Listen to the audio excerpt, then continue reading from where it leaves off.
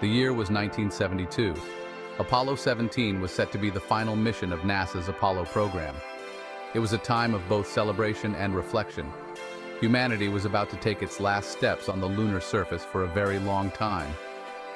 Little did we know that Apollo 17 would uncover a mystery that would linger long after the astronauts returned to Earth. This mission was unique for several reasons. It marked the first and only time a professional geologist, Harrison Schmitt, was part of the crew. His expertise would prove invaluable in understanding the moon's complex geology. The mission also targeted the Taurus Littrow Valley, a region believed to hold clues to the moon's early history. Excitement and anticipation rippled through mission control as the mighty Saturn V rocket roared to life, propelling the Apollo 17 crew skyward. The crew of Apollo 17, Commander Eugene Cernan, Lunar Module Pilot Harrison Schmitt, and Command Module Pilot Ronald Evans were prepared to embark on a journey for the ages. They had no idea they were about to stumble upon something truly extraordinary, something that would challenge our understanding of the moon and our place in the cosmos. Nestled along the southeastern edge of the Sea of Serenity lies the Taurus Littrow Valley, Ringed by towering mountains and sculpted by ancient volcanic activity, this valley was chosen for its potential to unlock secrets of the moon's formation and evolution. The valley's landscape is a captivating tapestry of light and shadow. It is a place of rolling hills, deep craters, and vast plains blanketed in lunar dust. It was a challenging environment that demanded the astronauts navigate with precision and skill. Their lunar rover would allow them to cover more ground and conduct more in-depth scientific studies. The mission's primary objectives included collecting lunar samples, deploying scientific instruments, and studying the unique geological features of the region. Taurus Littrow Valley promised to reveal new insights into the moon's volcanic past and the processes that have shaped its surface over billions of years. Upon landing, Cernan and Schmitt wasted no time in deploying their lunar rover and setting off to explore the alien landscape. Traversing the lunar surface was like moving through a dream. The rover kicked up plumes of moon dust that hung in the airless environment, creating an otherworldly spectacle. The astronauts marveled at the stark beauty of the lunar surface.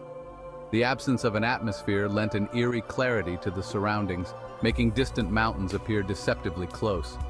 The sun's harsh light cast long, inky shadows, adding to the surreal and alien ambiance. Despite the breathtaking scenery, driving the rover had its share of challenges. The uneven terrain, littered with craters and boulders, demanded constant vigilance. The rover's navigation system was rudimentary by today's standards. The astronauts relied on landmarks and careful planning to avoid getting lost in the lunar wilderness. Part 4. A startling discovery on EVA-2. It was during their second extravehicular activity, or EVA, that something truly extraordinary occurred.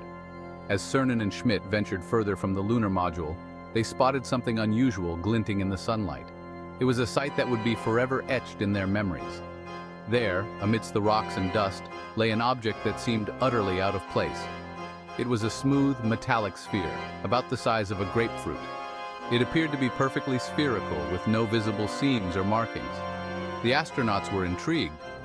What was this enigmatic object doing on the surface of the moon? Cernan radioed back to Mission Control, his voice a mixture of excitement and disbelief. We've got something interesting here, he reported.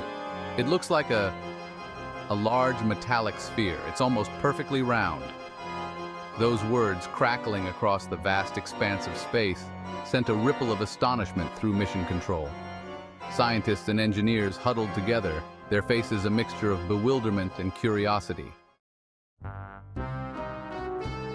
Part 5. Whispers from the Lunar Past. The discovery of the metallic sphere sent shockwaves through the scientific community. Theories abounded, ranging from the mundane to the extraordinary. Some scientists speculated that it was a meteorite, while others suggested it might be a piece of space debris. However, the sphere's perfect shape and lack of any impact craters made these explanations seem unlikely. The astronauts carefully collected the object, sealing it in a special container to prevent contamination. It was to be brought back to Earth for further analysis. Back on Earth, the sphere was subjected to a battery of tests. Its composition was analyzed, its surface scanned for markings, and its internal structure probed with X-rays. But despite the best efforts of scientists, the sphere remained an enigma. The mystery of the metallic sphere captured the public's imagination, fueling speculation about the possibility of extraterrestrial life. Could it be an artifact left behind by an ancient alien civilization?